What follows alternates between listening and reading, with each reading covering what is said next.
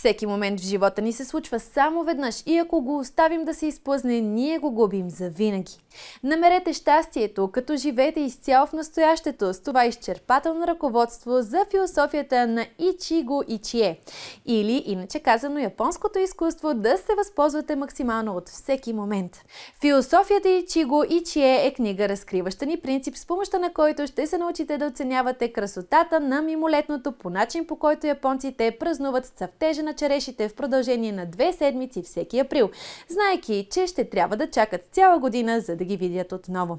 Ще разберете как да използвате всичките си пет сетива, за да се закотвите в настоящето, освобождавайки се от страха, тъгата, гнева и други негативни емоции, подхранвани от фокусиране върху миналото или бъдещето. Ще започнете да разбирате магията на съвпаденията, които ни помагат да намерим смисъл сред на пръв поглед несвързани събития в живота ни и още много. Философията и Чиго и Чие е книга ключ към хармонията с другите и любовта към живота.